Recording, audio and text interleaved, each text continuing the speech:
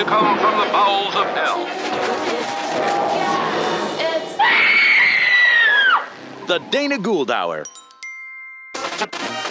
Jungle worms and swamp rats run around your feet. Bought a dog that killed the calf that ate the canary. What is truth? And once again, welcome back. Well, how are you? Anything going on? Anything interesting in the news? My lord, what an eventful time it has been, but things are looking up. By the time you hear this, we will have, or are just about to have, depending how quick you are on the trigger, a brand new president. And that's a good thing. And the official world of right wing disinformation has been revealed to be the cancer on our culture that it is. Now, you've long known that, and I've long known that, but now it's out in the open officially, and as they say, you can't solve a problem until you admit you have it. But we don't have any problems, not here at the show. In fact, we have a great one for you today. My guest the very funny comedian Amy Miller. Now, in addition to being a hilarious comic, Amy has a terrific podcast called Who's Your God?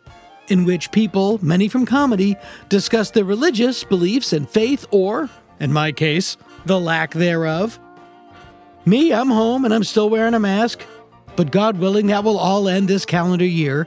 Now, there are some cool things happening here that I can't discuss, and some stuff that I can discuss specifically Hanging with Dr. Z, which premieres on February 15th on YouTube, or go to hangingwithdrz.com, H A N G I N G W I T H D O C T O R Z, hangingwithdrz.com for details. We're putting that website together as we speak. Or just follow me online and you'll get all the details you need. If you like this podcast, you'll love Hanging with Dr. Z. And lastly, a note of thanks to all of our Patreon supporters. Patreon, quite literally, allows us to keep making this show as it allows me to pay for the show. If you'd like to join, you go to danagould.com and sign up. It's five bucks a month, and you become a Dana Gould Hour Sky Cadet. You get extra interview segments, you get extra content every month. Here's an example I was out in the garage, the coolest garage known to man, and I found a VHS tape with no label. I knew there was something on it, but I didn't know what it was. I didn't have a VHS hooked up. Five, six months later, have old VHS, got a free afternoon, hook it up. I put in the tape, and it's the raw footage of my interview for Space Ghost Coast to Coast from 1997. Remember that? So I thought, oh, this is interesting. I should put this up. So I digitized it. It's up on the Patreon. I took a lot of behind the scenes footage when we were filming Hanging with Dr. Z. Where is it? It's up on the Patreon.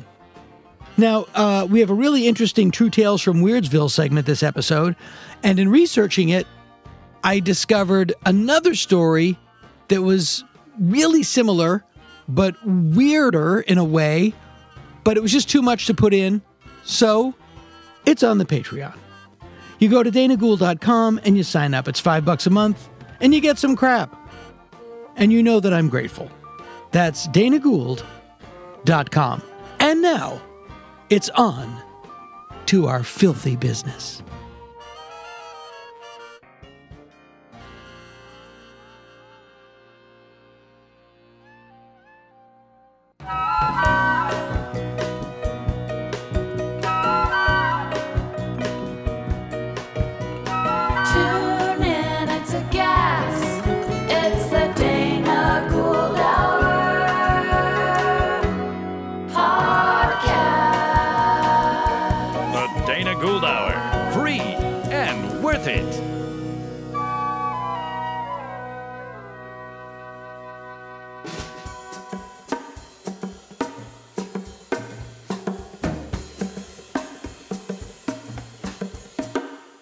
Hello, everyone. It's a it's a gray it's a gray chilly day uh, here in uh, Falcons Lair Recording Studios, high atop the Mulholland Drive view shelf, and normally sunny Southern California, and uh, it's uh, a new year. If we if we make it over the goal line, things are going to be better.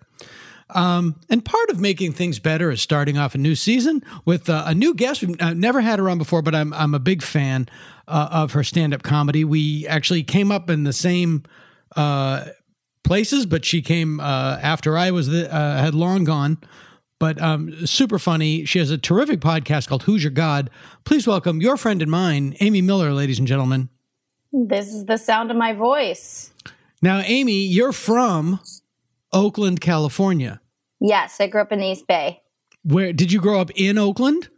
Um, for much of it, yeah. As a, as a little little kid, I was in a town called El Sobrante in the East Bay. Uh, I, I don't know that one.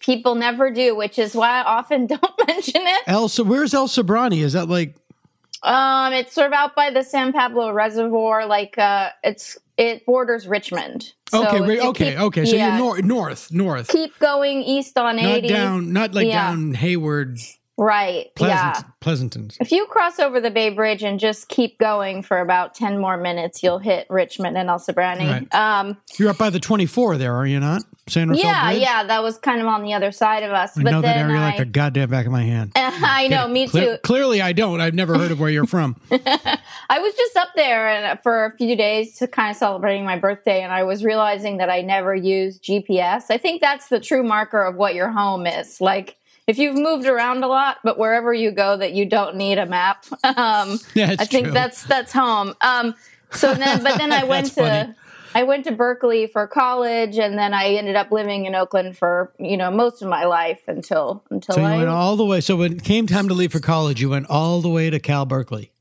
exactly. I know. I know. Well, I was lucky to get in. I I was the first person. That's a in great my- school. Yeah, no, my daughter applied. Yeah, no one in my family had been to college before, so same, uh, same here. Same here. I did something I guess that felt manageable, but also a big stretch. it went okay. So did I want to get into your podcast? Is called Who's Your God? Yes. Clearly, you, you went to Berkeley, so you're you're a brainiac, uh, and yet you became a comedian. So I've lost all form of respect for you. but did you study theology at Berkeley? Is, I did a little bit when I was at Berkeley. I was a sociology major, and I did very. I did. sociology major at Berkeley. I That's mean, perfect. Or as they call it, nose to the grindstone. It's funny because it It's not sound, just sociology majors when you get out in the world. There's also theology and philosophy majors. It's going to be tough out there. I was on a path to become a social worker, and it. I do sound like a Bay Area cliche, but the catch is that I was extremely religious. I was a very strict fundamentalist Baptist going into Berkeley, uh, and my whole my whole childhood, which that's hard to do. Um, that's why I have a religion podcast. it's hard Okay, to be. That's funny uh, because Grey DeLisle, uh, who was on the last episode, also was, I believe, raised a, a Baptist or, or some such. Uh, and uh, I, I find that very, uh, very. It it doesn't surprise me that you go into something that uh, is so deregulated.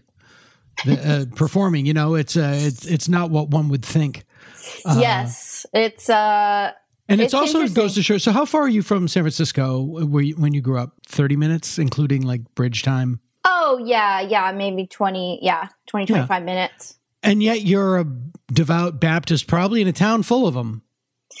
Uh, yes, yes Yeah. and no. You- but it, the- the point is, like, you get right outside the city, and you're like, because when people would think, like, okay, you grew up in Oakland, in the Bay Area, in, in the East Bay, Mm-hmm. then you went to Berkeley, then you moved to Portland, yes, and then you moved to Los Angeles. So someone would say, "Oh, well, you don't even know what it's like to be in America, then, do you?" but but actually, you do because the Bay, it doesn't matter. Twenty five minutes out of the city, you could be anywhere. yes, many parts of the East Bay are the Midwest in Yeah. some ways. Except that we always did, for the most part, not out like in you know in like Walnut Creek or whatever, like Laurie Kilmartin land. Uh, that's it's a little Laurie Kilmartin fancier. You know it's what pronounced it's pronounced Kilmartinland. I mean?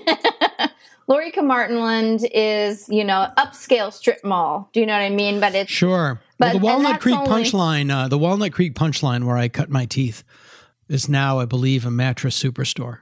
As well, it should be. But in the in El Sobrante, Richmond, you know, I mean, they're working class neighborhoods, and a lot Absolutely. of uh, Absolutely. a lot of our neighbors worked in factories and all the refineries that are kind of you know like out by the Carquinez Bridge. And uh, I came from my dad worked in steel uh, out in Alameda. And so, yeah, there Really? were all these little churches, little neighborhood churches that can exist and be very fundamentalist Christian in the middle of the East Bay. And although we don't, you know, it's uncommon. Uh, it, it's also it was also a very diverse church. So I'm like growing up around many different kinds of people, but then still somehow having the biblical belief of a young Southern gal. wow. What is what defines you're not a Southern Baptist? Should, We were Free East Will Bay Baptist. Yeah. Free, free Will Baptists. It is very rare. Uh, it is super conservative, and yeah. What what are you known as within the Baptists? You're like the sexy Baptists. I mean, Southern Baptists and and other kinds of m- more mainstream Baptists don't even really know about Free Will Baptists. It's very much. Uh, I mean, it's an Okie church. Like they exist in Oklahoma and the Central Valley, and then there's a couple in the Bay Area, and that's pretty much it. Um, and it is a lot. There are a lot of Oklahoma ties, which my family's all you know Dust Bowl Okies. Um, although this church, my parents didn't go to church. We it's a story you can hear on my own podcast about Uh-huh. how I made myself Christian without anyone influencing me. I was raised Catholic. I was raised uh, Irish Catholic, so or Roman Catholic. So I can see that. You seem like you feel guilty. I do all the time. But w- what differs your religious outlook? You know, went back when we were both practicing, how did our outlooks differ? I only know what I was So- taught, which was that from the chin down, it was all filth. So, Free Will Baptists, of course, they emphasize free will. And uh, part of the reason they emphasize that you can, you know, remind you that you can make your own choices is because you can actually fall out of favor with God. So, at some point, there can be a time when you have sinned enough that you cannot go to a confessional, you cannot pray for forgiveness, you cannot get re saved. You are just done, and God is done with you, which is really terrifying. God's a God's a mean girl. God is a mean girl, and there's nothing scarier to a kid than a faceless father figure when your own who can who can send you to hell when your own father figure is also kind of scary, by the way. um, um, and then there are some there are some arguments over very specific things in the book of revelations between like free will baptists and southern baptists and other kinds of evangelical christians Uh-huh. um, around you know the rapture? Will will christians live out uh you know the apocalypse on earth? Will they be raptured immediately? Like all these sort of nitpicky things about the end times schedule. Like, right get- yeah. there's a there's a lot about there's a lot about the end times. It it is like a wedding. It's like there's a lot of moving parts people to seat yeah. No we didn't invite them to the reception. They're only ceremony friends. Yeah there's it's true it's true. Yeah the uh, the uh, the rehearsal dinner for the end times is yeah is going to be a big shebang. Now what is so is kirk cameron is he also a baptist? What's he? I uh, you know that's an interesting question. I'm not really sure. Um, I, I you know whatever i mean what he is is batshit crazy. Yeah. I think he comes a little bit more. Well, something about Free Will Baptist is that there is not one mega church amongst any of them. Uh, You know, it's it's like a pretty poor arm of the Baptist church. Um, our church was not extravagant. I think it was very nice. You know, it was the '80s, so we had red velvet carpet. Uh, Uh-huh. Wow. and big shoulder Um, big shoulder pads yes. modified you had a modified mullet and uh So Yeah. I think of Kirk Cameron as more from that kind of megachurch evangelical world, but I could be wrong.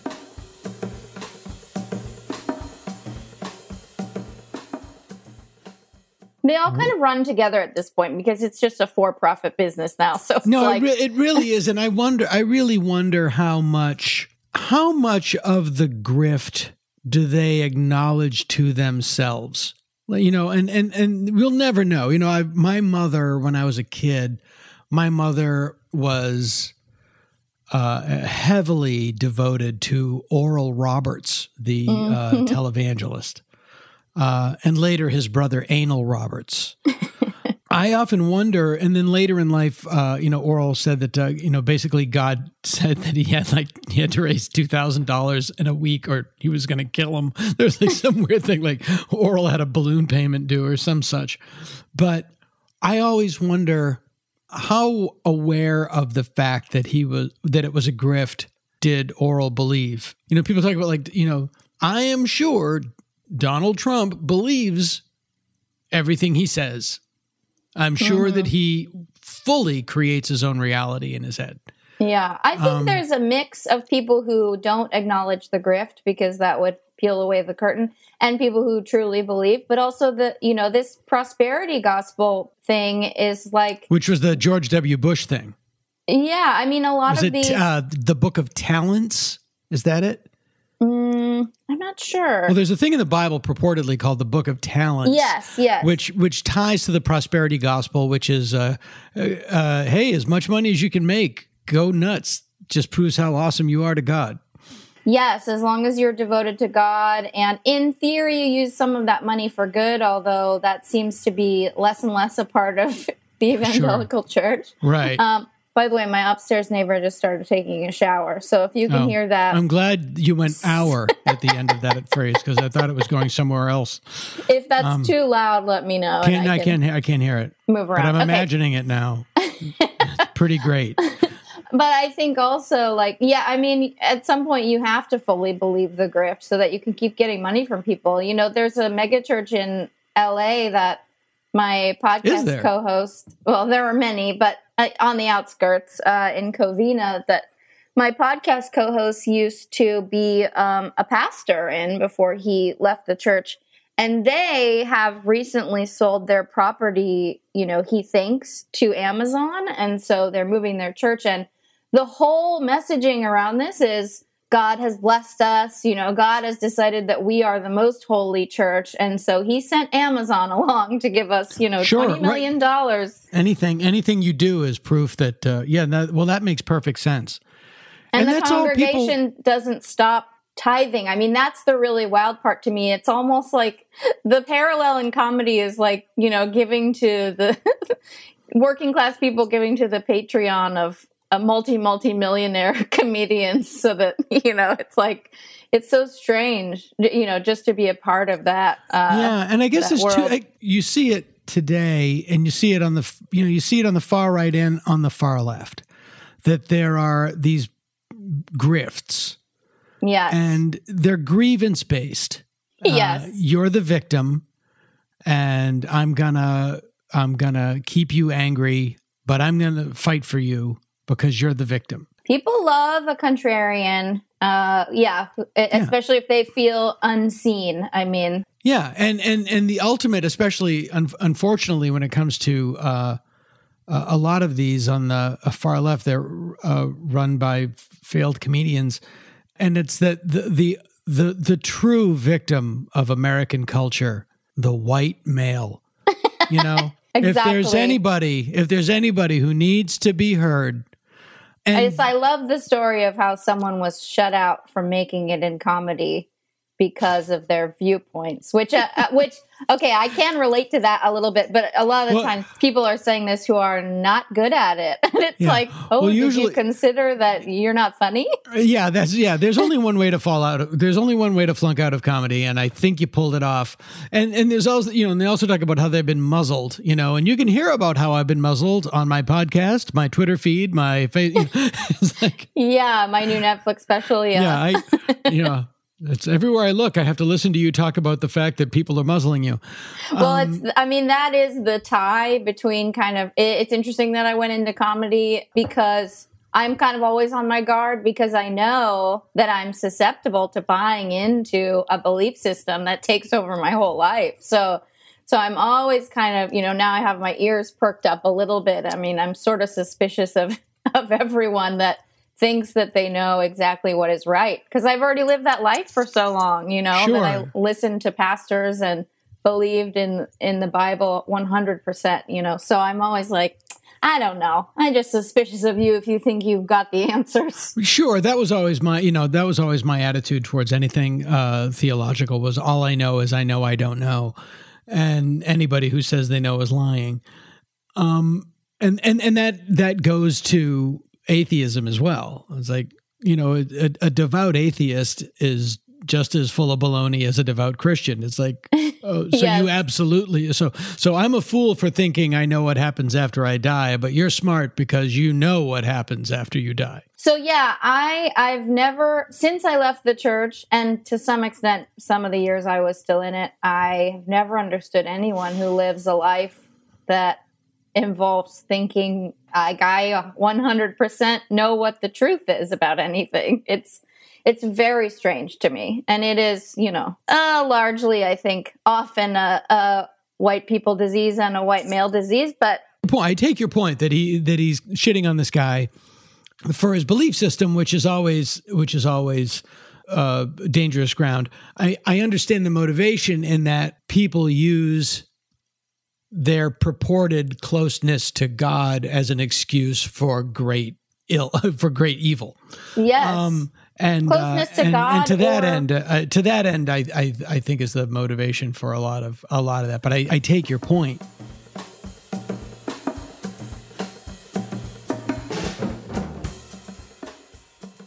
and closeness to God or whatever, closeness to intellectualism or politics Absolutely. or whatever that or comedy, the thing that you yeah, you feel like you know the most about. I mean, it's you know, or or teaching your kid how to use a can opener.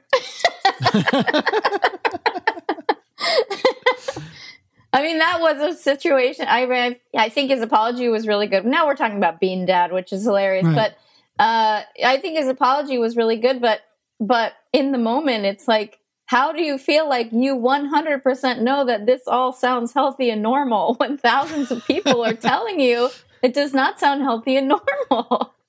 You know, you have to. It's just it's just the, world the I sake don't of the, understand. for the sake of the people that, that don't follow Twitter, give us a breakdown of Bean Dad, just so we know it. So I know it. I know it involves Jeopardy. Oh yeah, so this guy, he, he well, he has a podcast with Ken Jennings. I've actually followed this man for years because I really like his band, The Long Winters, and I think we crossed paths a couple times in the Pacific Northwest. Um, and you know, he just he wanted to write something. It was also you could tell it was one of those nights where he wanted. You sometimes you have a Twitter thread inside of you. You know, Dana, those nights when you're like. Oh, this is going to be a great story, and people are going to. You, really you don't have three kids. I never have a Twitter thread inside well, that's good. You're probably better off. But, you know, he wanted to write this sort of sensationalist story about teaching his daughter how to use an old school can opener. And then it came off sounding like he was starving his daughter and also, you know, just Right. being kind of a know it all dad who was teaching Sure. in a really strange way. And he was so, he grew so defen and it was a can of beans. Uh, so defensive to everyone saying like i mean at least get her a snack. And then this is taking six hours to learn the can opener. Um Oh, and oh, he wouldn't let her eat until she'd open the can opener. exactly. Yeah. And she's and the, she started the story hungry. He says that. And she and he says there were tears you know she cried but he really felt like he taught her a lesson. And i think now he's kind of seen you know sometimes it's hard to see through the twitter mob and know who's really saying reasonable things about my behavior and and what what part of it is just a mob i guess uh True. Yeah. Well, the important. th- yeah, it's also important to remember that when you when you get off Twitter. The, and you leave your house, the real world has no idea what you're talking about. yeah exactly It's really true. It's really true. Like I, I I'm alarmed at things that are like just the biggest brouhaha, and then you go out into the world and nobody has a. It, it is. Ti it's like a little spaceship that orbits the planet. It's not a part of the planet at all. you know, Absolutely. There's not a lot of room for nuance. And uh, when you're talking about serious things, and now when you say something that's just silly, then people are looking for serious nuance where it shouldn't exist because it's just a joke. And then, oh yeah, exactly. know. And and it's and it's the you know they used to say that death is other people. You know that uh, whatever the expression is, uh, hell is other people. yeah, uh, you know, because there is a comments, you don't, you don't have to make one. This is why, in fact, I love Catholic men because you guys are always sorry. And at no point are you ever, you know, in a situation where a lot of people are yelling at you that you're wrong, standing your ground. I mean, immediately you'll yeah, double. down. There's no double down in the Catholic Church. and I love that. I mean, I think uh, my friend Marcia Belsky I, I used to have a joke about loving Catholic men because they're the only men that understand a little bit what it's like to be women because you're just sorry to be alive. yeah, I used to have a I used to have a joke. uh, This is hundred years old, but like, I, you know, being married is just like this. Back when I was married, it's like I just wake up first thing in the morning. I'm sorry, just get one on the board, hit the ground Yeah. running, hit the ground yeah. running. Yeah, so it's very foreign to me anytime a person, a man, anybody is like, you know, being told like, "Hey, this might be out of line," and then just doubles down and Well, and it's and now it's cult- they're right. Yeah, well, it's also cultural now because we have a um, have had a child, an emotional child in the leading our culture for four years. That now, uh, you know, it's a sign of masculinity to never admit you're wrong. When in fact, when in fact, think you know, a good 10 second think would show you that it's the reverse. you know, no, I'm secure enough that I can freely admit when I've made a mistake, learn from it, and go on. It's not a big deal. Yeah. Um, and and and and that sort of brings us brings us back to what we were talking about before in terms of like you know the the the the grifts, and and and there are there are so many, and that that's a part of white male you know grievances that you know it's we've been made you know we have to apologize for everything. We have to apologize for so now they apologize for nothing. Well mm-hmm. great. Congratulations. You're six. You know, it's- Yeah, you're six, and now you have this strong man daddy who will never back down on your behalf while you sort of live your life where you probably have to back down all the time because that's how regular life works. If you're just a you know a working person with a family, you don't get to double down all day long. So it's nice to have people you can look up to, you know, uh, the president and right wing comedians or whatever to say like, well, he's doing it for me, so I'll just continue to be probably a normal, nice guy, just doing my job and taking care of my kids. But, you know, this Yeah. guy doesn't give a fuck. Yeah, I mean, it's. I wonder. You know, go back. You know, go back hundreds of years to you know the the, the rise of of of you know the these giant church corporations. That wasn't so much grievances; it was out and out control. And and my my again, I'm quoting my friend Kevin Rooney. It's like Kevin Rooney said, like, how shitty does the world have to be to come up with Catholicism? It's like you know when things get great? When you're dead. And then it gets really good. Oh, Can I do anything to make it better now? No, no, no. Don't even bother. No. Just just wait. When you're dead, it's great. In fact, in How fact, bad do things have to be? Yeah. On top of it, don't do many of the, the things that do bring you joy while you're on this earth because those are sins. So, yeah, yeah, exactly. Yeah. And but again, and it's all about that's all about control and it really was government at the time. It was that was how people were controlled and and it's effective. And I've been in it. So I, you know, I'm very skeptical of everything now.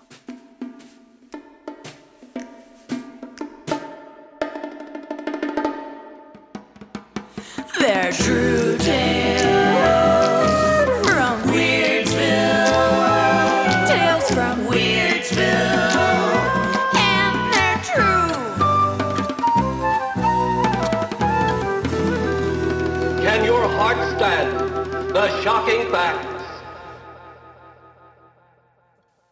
public wants what the public gets. But I don't get what this society wants. I'm going underground. That's Paul Weller from the Jams Going Underground, released in March of 1980. Oh man, if only he knew what was coming. Now, it's a common fantasy, just walking away from society, leaving it all behind, going off the grid and disappearing from the world. In 2002, Neil LaBute wrote a play called The Mercy Seat about a man who worked at the World Trade Center but happened to not be there during the attack, but contemplated using the attack as a cover to disappear and start a new life. Now, it's easier said than done, yeah? Especially with cell phones. Am I right? By the way, just a side note, but this drives me crazy. All the ding dongs out there that don't want to get vaccinated because they think the government is going to microchip them and track their movements. All of these people walk around with cell phones, allowing anybody to track their movements. Not to mention the fact that the one time they actually did something against the government, they posted it on goddamn Facebook. Idiots! Believe me, as of late, I have been thinking about the Jam's going underground quite a bit. What would it be like to just walk away? The following story was taken from a number of sources, predominantly from Michael Finkel's stories in The Guardian and in Gentleman's Quarterly. Christopher Knight, not the guy who played Peter Brady, another Christopher Knight. This Christopher Knight is 20 years old, and he worked in Boston installing alarm systems in houses and in cars. Um, I'm not sure if he was a fan of the Jam or if he had ever even heard the song going underground. But one day, he gave his boss notice, cashed his last paycheck, and split town. As one does, he just drove. He drove his car and listened to the radio and stopped when he got tired and stayed in cheap motels. And then he got up and started driving again. 20 years old, in a car, listening to the radio, driving. And he drove and he drove and he drove all the way down the East Coast until he found himself in Florida. This was the spring of 1986, and the Chernobyl nuclear meltdown had just occurred. The number one song in the country was Dionne Warwick's That's What Friends Are For. But Chris Knight didn't have any friends, not in Florida anyway. So he turned his ass around and drove back up north. He drove and he drove and he drove. He didn't talk to anybody, he didn't call anybody. His family didn't know where he was. He was just driving. He drove back north towards Boston, then past Boston, and up into Maine, where he was from. In fact, he drove right by his parents' house. But he didn't stop, he didn't call. He just kept driving. He drove to Moosehead Lake. He was running out of gas now. But instead of turning back around to get some, he kept going off the main road, onto an access road, then onto a dirt road, then onto a trail. Now, Chris had no plan. He wasn't prepared for anything. He had a tent and a backpack in the car by chance, so he grabbed them, threw the keys on the dashboard, and walked into the woods. Now, Henry David Thoreau walked away from society into the wilds of Walden Pond to embark on a journey within himself, to explore, as Thoreau wrote, the private sea, the Atlantic and Pacific of one's being. Long before Thoreau, in the 6th century BC, Chinese philosopher Lao Tzu wrote the Tao Te Ching, which told the tale of how he, Lao Tzu, removed himself to the wilderness to protest the corrupt state of society. Lao Tzu claimed that withdrawing from culture helped him acquire wisdom. That it wasn't pursuit, it was retreat. Chris Knight drove up from Florida. And as he said many years later, I, I can't explain my actions. I had no plans when I left. I wasn't thinking of anything. I just did it. He wandered through the woods for weeks, wandering aimlessly, but very contentedly through the woods and the wetlands. Except, of course, he was hungry. He found a dead partridge, but he had no means to start a fire. So he ate it raw, and miraculously did not get sick. This wandering through the woods lasted for months. But eventually, with winter approaching, Knight decided he needed a more permanent redoubt, eventually settling on a small area about the size of a bedroom, hidden so well behind an outcropping of rocks that it was basically invisible even when you were right in front of it. Not that there was anyone to hide from so far out in the woods in Maine, but this became Chris's home. Chris was now officially a hermit, and he had really only two concerns in life food and surviving the winter. For the former, it became necessary for Chris, despite his best intentions and strong moral code, to steal.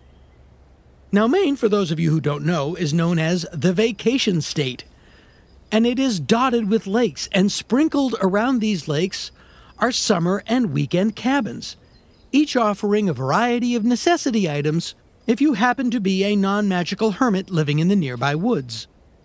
And so began the legend of the Hungry Man.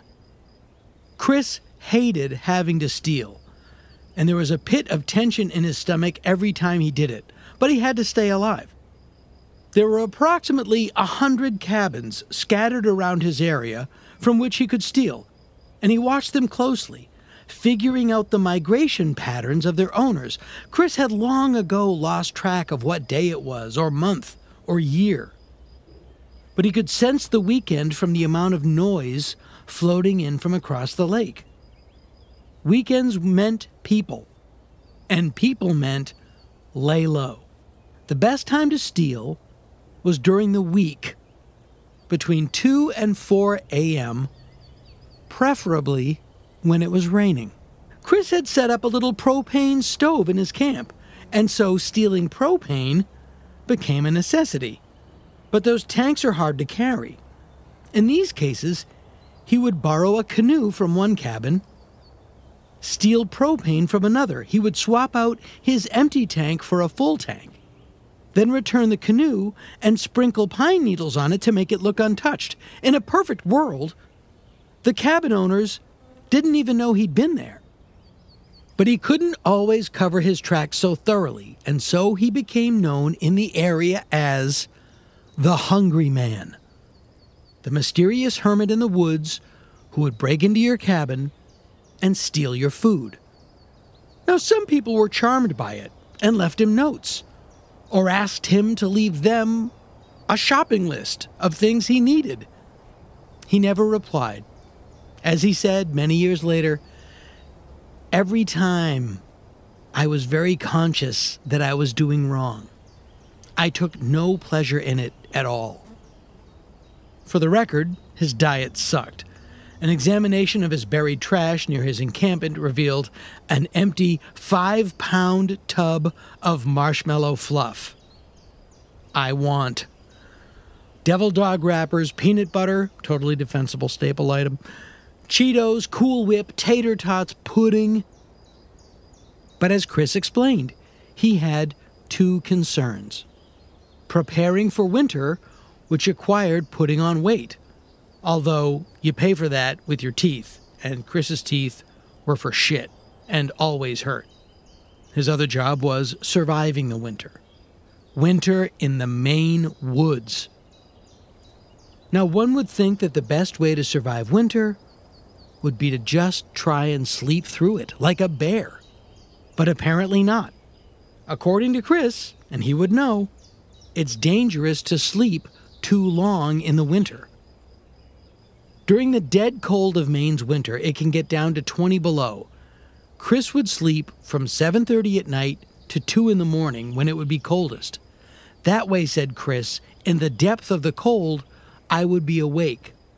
The fear being that were he to sleep through that period, the condensation from his body might freeze his sleeping bag.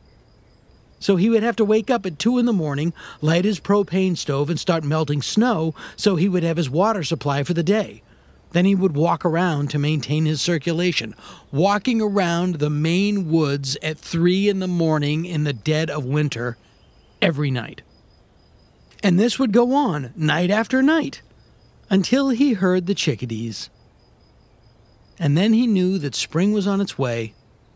He had survived and would be filled with a sense of deep peace.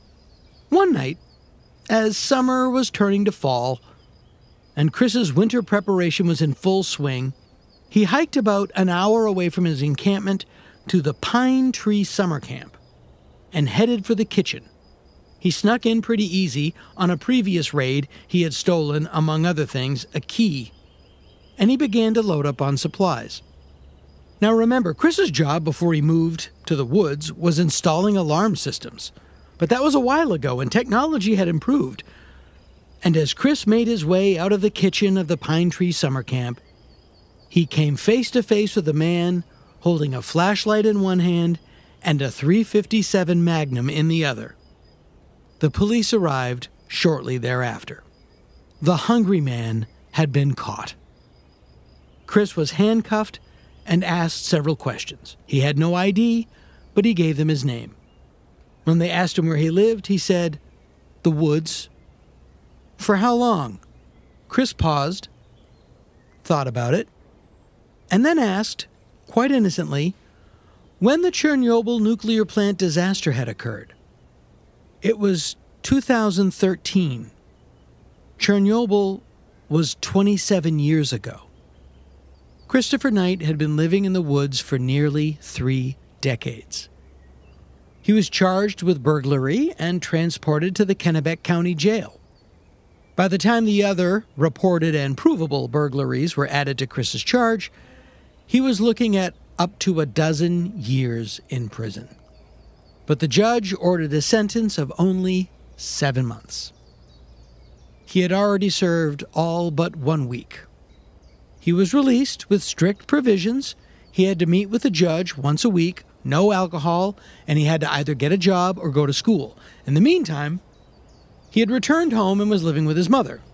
So, you know, prisoner, go back and live with your mother. I don't know your world, Chris told reporter Michael Finkel, whose work I am relating. Only my world. And memories of the world before I went into the woods. What is life today? What is proper? I have to figure out how to live. And then he added, I miss the woods. While Chris was in jail, he finally was given an extensive medical examination. One thing that was revealed was that he had Asperger's syndrome. He took the diagnosis in stride. As he said, I don't think I'll be spokesman for the Asperger's telethon. Do they still have telethons? And then he added, importing the wisdom that he learned, a wisdom akin to that of Lao Tse. I hate Jerry Lewis.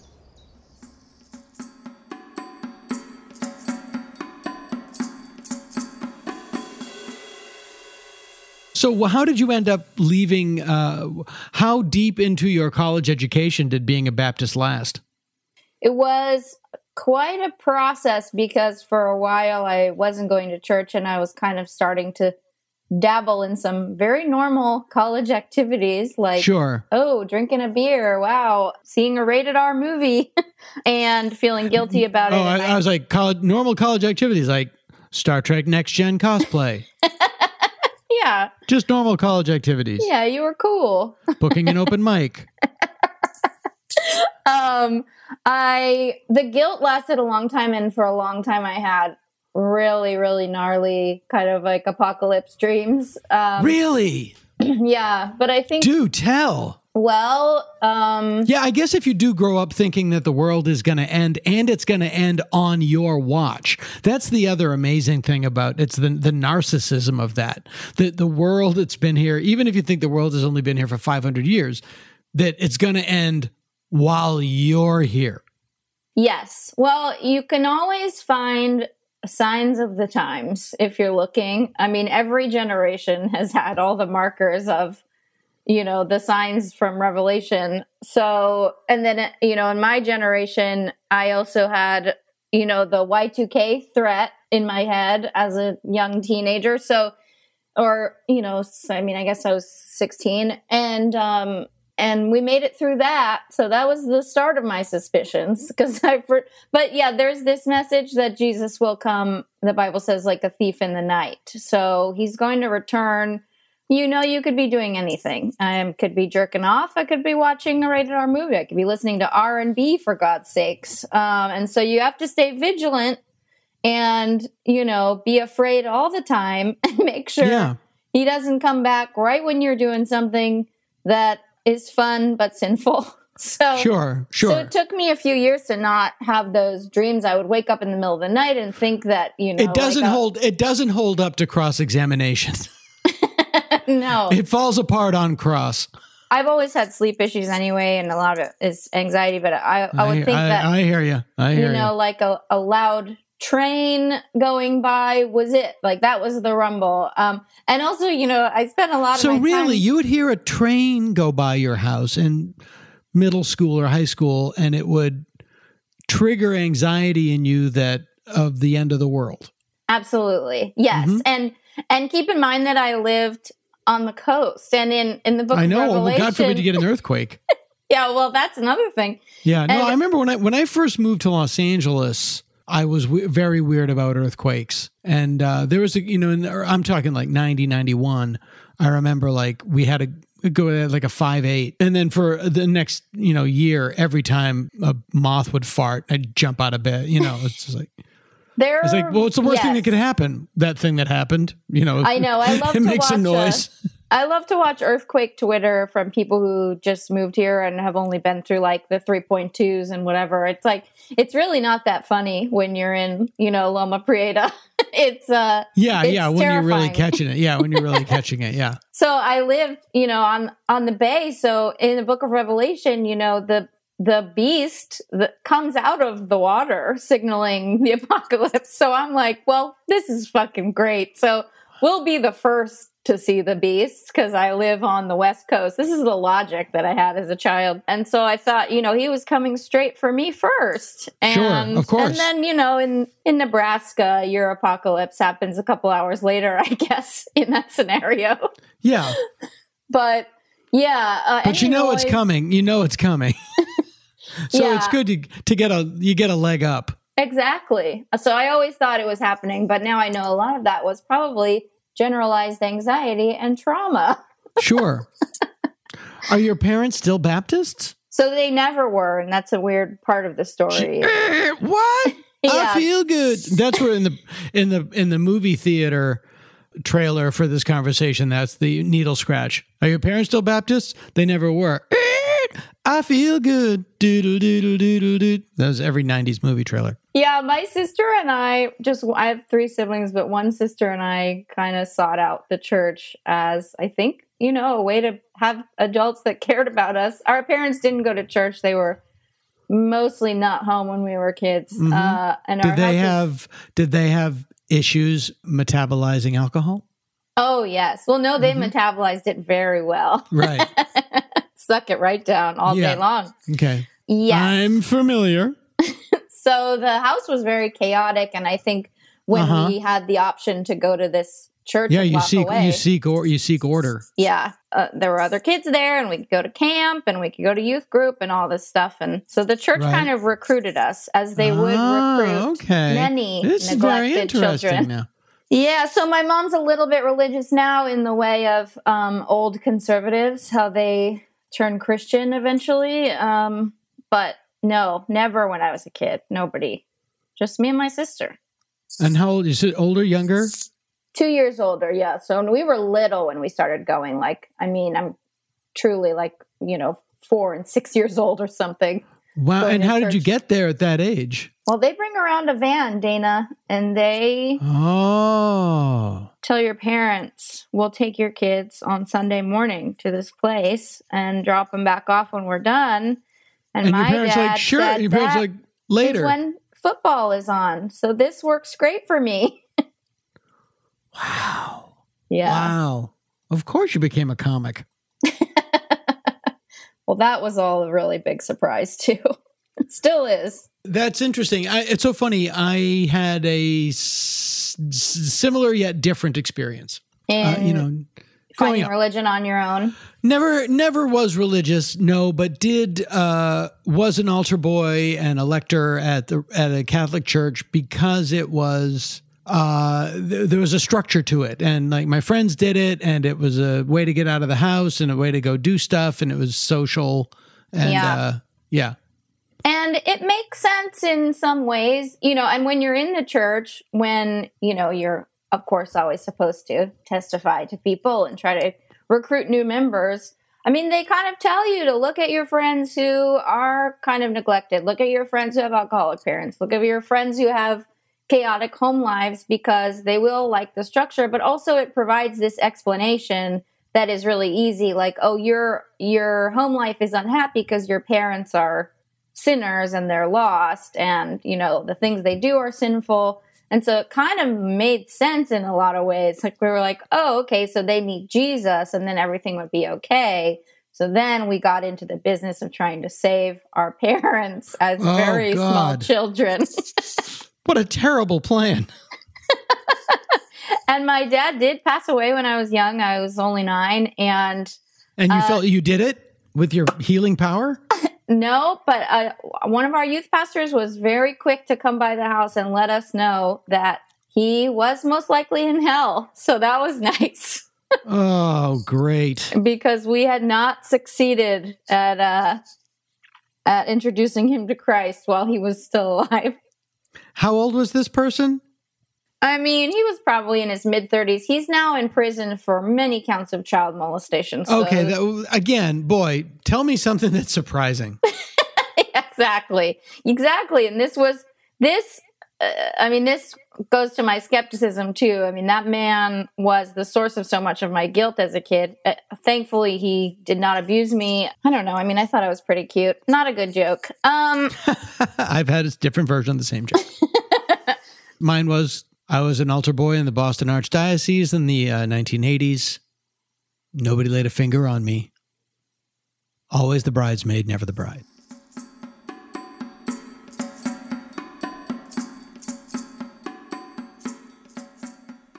But he was good at making me feel guilty and like i was never truly saved and i was never on a righteous path so no coincidence that he was up to no good Yeah, and it's uh, it is funny though, and again, I think I think this is a, a uh, this is a part of Religulous that you probably agreed with. Was like I think it's Bill's joke, like, yeah, get a lot of men together in a place where women aren't allowed, and wait for the hideousness.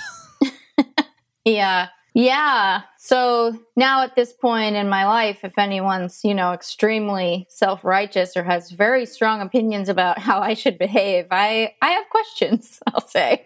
Sure. And and I think that you know when you look at you, know, you talk about the Twitter world and things like you know people that are really into Trumpism or really really like the their whatever their political agenda is is their whole life that's just a different form of religious zealotry.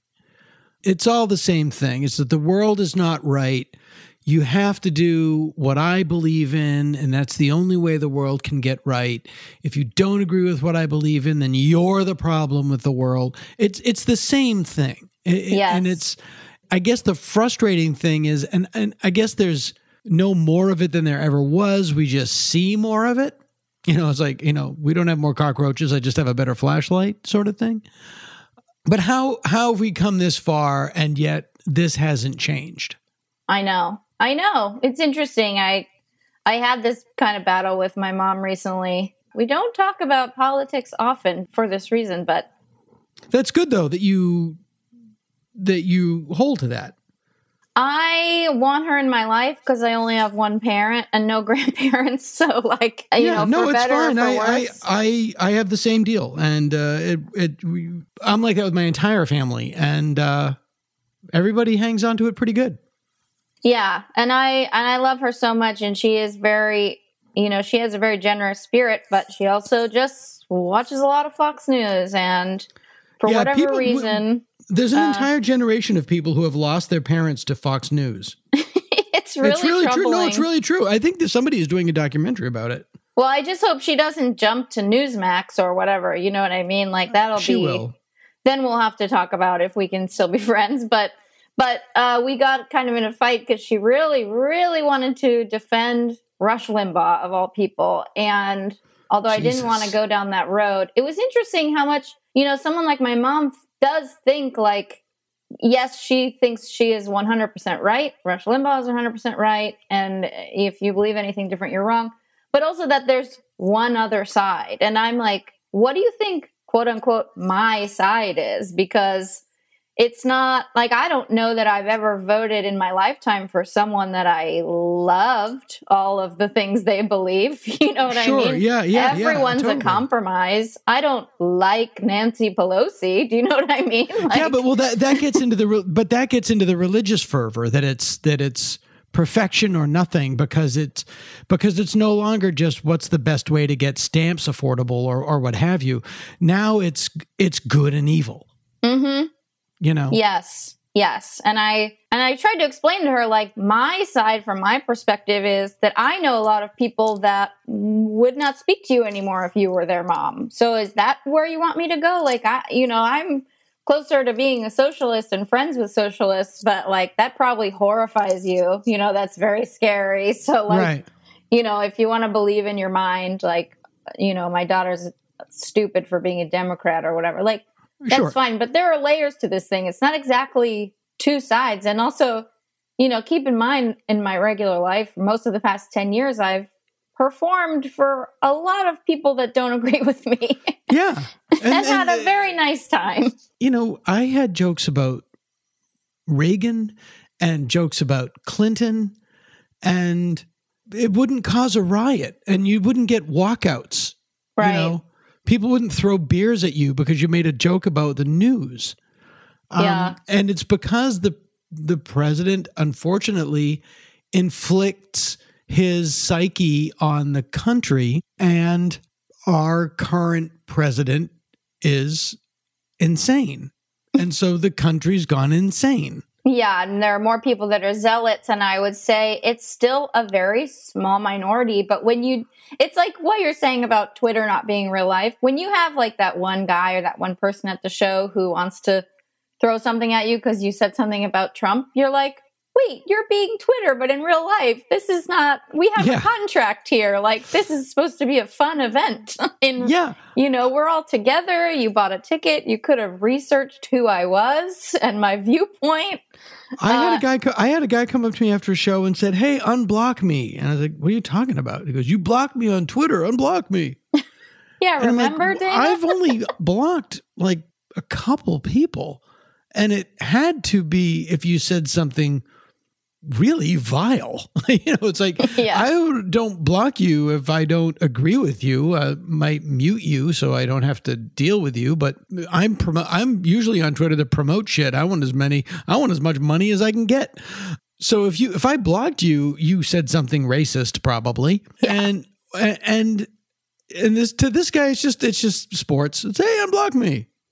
And to this guy, Yeah. it's just well, I'm sure know. he said something ironically racist in his mind. Or, you know, there's always people that, yeah, just try to tag the joke or make it awful somehow when you didn't make it awful. And it's like, no, I don't want to Yeah. see your shit. So it's weird when it happens in the real world, but it is still really rare. And that's what I sort of said to my mom is I'm like, Mom, you live inside your house watching Fox News. I've been out hanging out with Trump supporters. I mean, not like let's go get a beer, but you know, buy sure. my Yeah, merch. yeah, yeah. I get you. Yeah. I mean, I just want your 20 bucks for my merch, honestly. Um, but having thoughtful one on one conversations, like I exist in the world, and I know that there are layers to this. I don't think that every person that voted for Trump is, well, okay. I mean, I shouldn't get into this.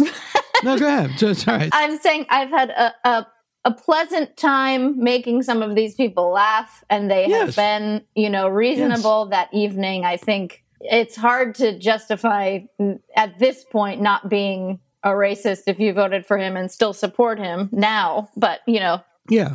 No, my Uh, brothers all supported him, and I'm sure they all do support him.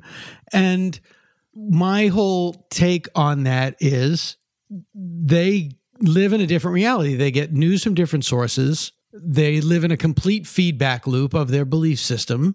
mhm. To use uh, John Hodgman's analogy, we see different colored skies. Mhm. I see blue and they see green. And you can tell them it's not green all day long. It's green to them. You know, Yes. uh, And there's a huge difference between people who voted four years ago and people today. I mean, especially today, like Yeah. this Although I- afternoon, if you support him, you know, yeah, maybe I'll be. you're not a I'm interested person. to see. I'm interested to see. I mean, I think maybe I'm too cynical. I think maybe I'm too cynical. Um, I know this shocked a lot of people in the professional class. You know, to these ding dongs, it's just hillbilly Disneyland. It's just, you know, they flew here. They're excited. They came for the day. They're going to trash Congress because to them, and it started in the 80s with Reagan saying that government was the problem. And then that became you know, a fervent belief. And, you know, to them, if they managed to burn down uh, the, they would have been great. And they would have gone home saying America, tree to save it.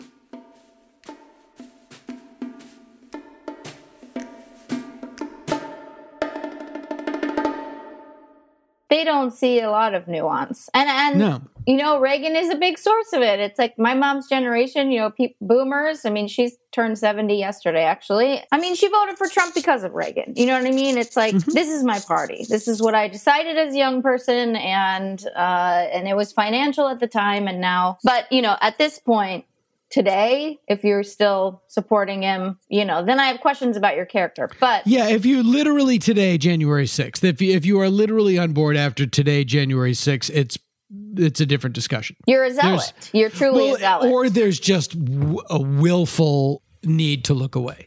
yes. You know, I know people that are great and they're smart and they're funny and they get it and they still defend Woody Allen. I'm like, Yeah.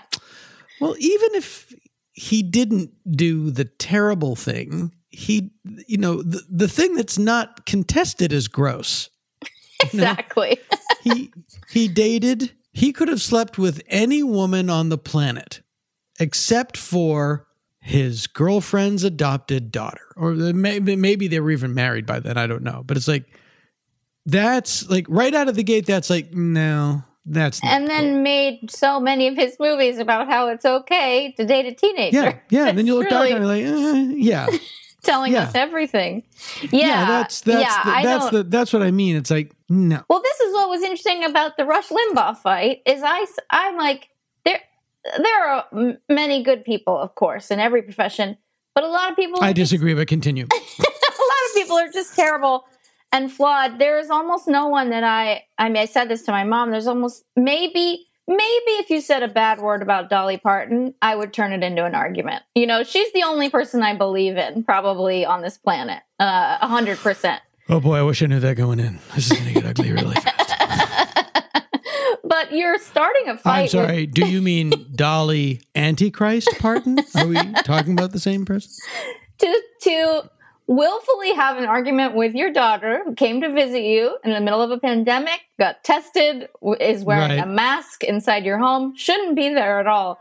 To take that turn to defend Rush Limbaugh is really crazy behavior because you can't even say like this is a nice person. I mean, he's he's very broken as a man. Uh, he No, is- he's a, yeah, he's a he's a monster. He's a, he's a monster. to them, it's just like a, a joke, Yes. and but it's not a joke anymore. Yes, and at the time it was, and that sort of like um, you know, late '80s, early '90s talk radio world. Like, I mean, it in a way it was interesting because you know there's something for everybody. But yeah, they're all performing, and then to turn it into this zealotry so many years later is really strange. But you know, at the core of it, it's like you he doesn't care about you, mom. Why are you causing a fight with me to defend this man? There's just no there's no man I would go to the mat for, to use Right. a wrestling term. Uh it's just a weird choice to spoil our good time. To just Yeah. try to convince me this guy's all right. And I, I there's got to be some brilliance. There's some genius in the Fox News model that gets every old person falls down that rabbit hole. It is strange. So many blonde women just Yeah, I, just know. don't. I don't. I I don't know what it is, but boy, oh boy, do they do they fall down that rabbit hole? And I think a lot and- of it's fear. It's it's comforting in a way. I think to have an enemy at all times for them, That's and this true. is like in the advertising too. I mean, the commercials on Fox and News there and you know again you get there you get into the religion it's th- that's the religious substitute too is that you know the the first thing that happens to any you know fervent religious movement is we're under attack you know christian christianity is under attack you know yeah, it's like and, and we see that in comedy a lot, and it's the same thing where you know there's there's allegations about somebody, and you're like, even if this guy didn't do it, nobody has a nice story about him from 25 years. You know, like he's not a kind person. right So most likely the allegations are true because I'm choosing to believe these women or whatever it is. But like, why are you why are you treating this as if we're attacking free speech and comedy as an art form because this guy's an asshole? You know? yeah, and and there's, and there's also but there's that point of like you you tell people they're under attack, they get into a defensive crouch, it becomes tribal, it's us against them, it just becomes a feedback loop, and it and it works for Fox News. It's it's really the whole uh, AM shock jock grievance shtick, and and and yeah, now and it's and and you know the lunacy of Christianity being and here's you know here's the worst offenders now are the people that are in charge. It's like Christianity is under attack. Yeah. Uh-huh. Yeah. It's so hard to find anything in our culture that's pro-Christian, um, except the the billions of churches dotting the landscape like mushrooms. The pictures of Jesus everywhere. Uh, yeah, our tax law, our yeah. calendar, so many right. things. White men, white men are under attack. Mm, again, last time I looked, we're doing real well. I- I- it's still a great way to get people galvanized. Yeah. It's weird, man. I don't I'm listening to a lot of uh old episodes of Loveline. I'm like which I'm not proud of, but You don't, long uh, drive. you know, Amy, Amy, uh, you don't get that time back. on a long drive. Now, I mean, this is the thing. Is like someone like Carolla, and I, I don't know if you guys are friends. We have Oh, we are friends. We are Yeah, friends. I've, I've done a show together. a billion times. I've done a show a billion times. I mean, even you know his belief system in the late '90s on these Loveline episodes is very. I mean, it's all over the map. You know, he's like, no, yeah. I I'm- mean, I, I think I'm, you know, I, I don't talk about Adam on the show because he's so controversial now. yeah, yeah. And- now, yeah, and I know him I know him too well as a person that I I don't I don't pay attention to the public Adam because I know the private Adam. And Right. to me, I just lump him in with my brother Kevin. I would, you know, I I I would rather wrestle snakes than get into a political argument with my brother Kevin because he, he, he we have different realities. It's a pointless exercise. yes. Okay, And well, it's, the, you it's, the, it's the same. It's the same with Adam. However, I also know this: both guys, if your car was broken down on the side of the road, would pull over and help you. Absolutely. Yeah. Yeah. Well, I don't know about Kevin, but Like give me his would. number. He would. uh, he would.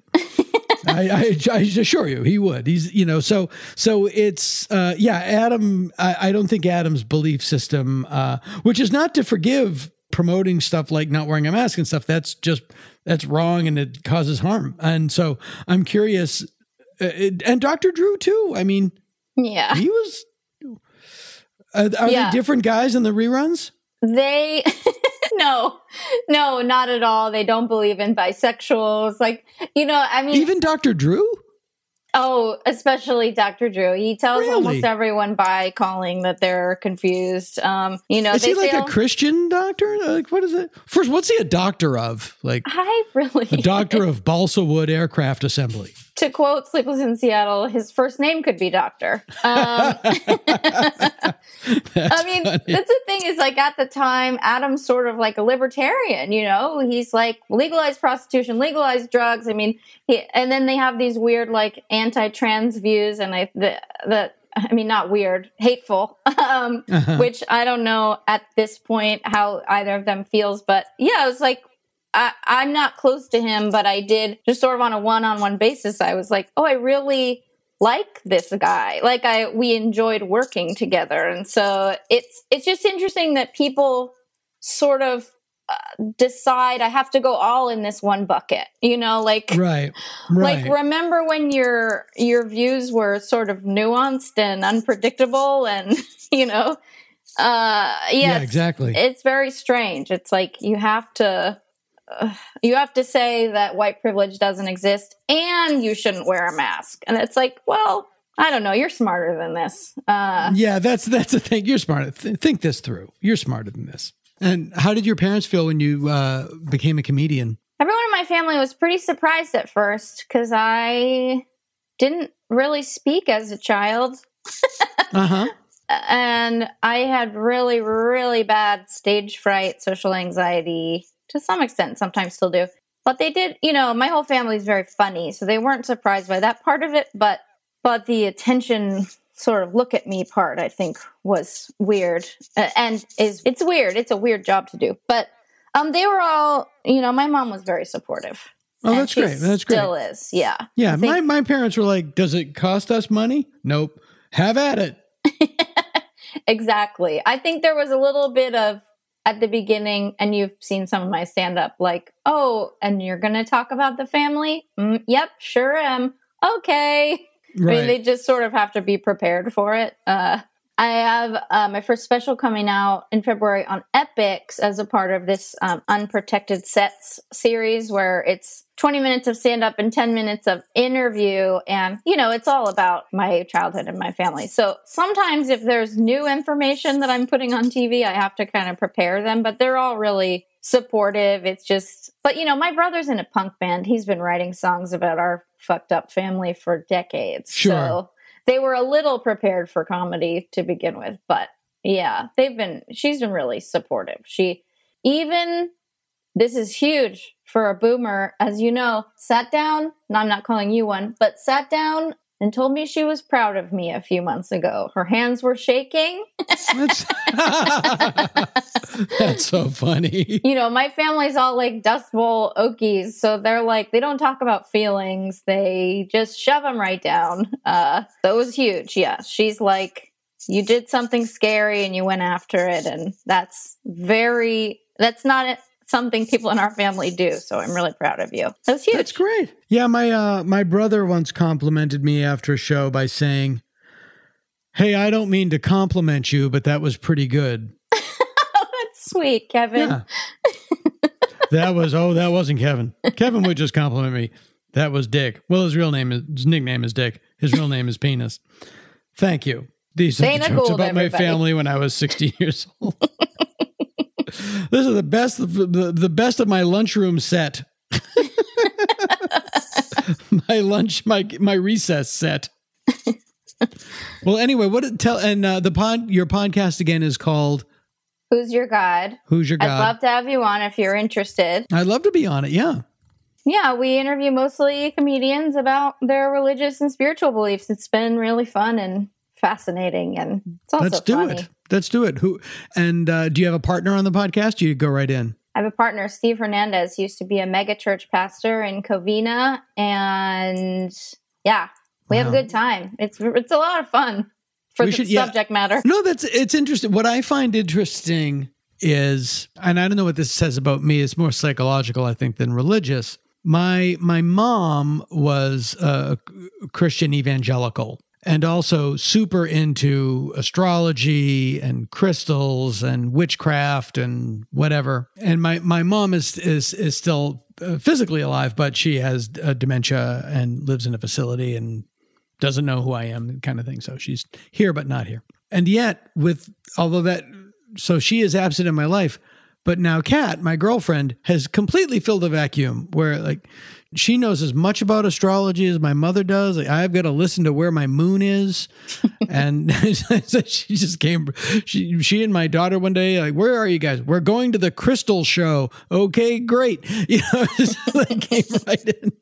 I apparently need to have that voice in my life. Yeah, scotch and stars. Scotch and star. That boy, that's her in a nutshell. Whi- whiskey and witchcraft. Um, These are all great podcast ideas, Kat. We're giving you gold. exactly. Do it. Um, super cool. Well, Amy, thank you very much. Uh, oh, thank you. This was so fun. the podcast is called "Who's Your God," and your special is called It's just it's they're called unprotected sets. "Unprotected." Sets. Do you get it? I do.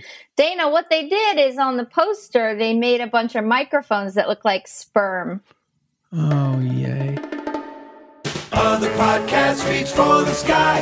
Dana Gould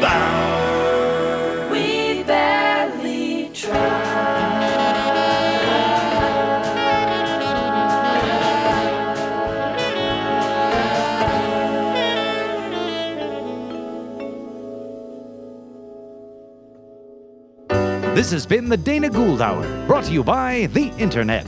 Music by Andy Paley, with Jake Posner behind the board. Produced by Jeff Fox. Graphic design and web production by Spencer Hunt and Segan Friend. Sound editing and post production by Jalinda Palmer and Joe Napolitano. Hey, if you like the show, why don't you drop us a line at show at danagould.com. Tom Kenny speaking.